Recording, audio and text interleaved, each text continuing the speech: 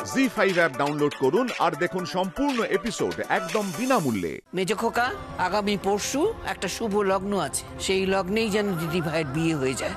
আমিও দেখি কে দিদি ভাইয়ের বিয়ে আটকায়। জি ফাইভ ডাউনলোড করুন আর সব এপিসোড দেখুন একদম ফ্রি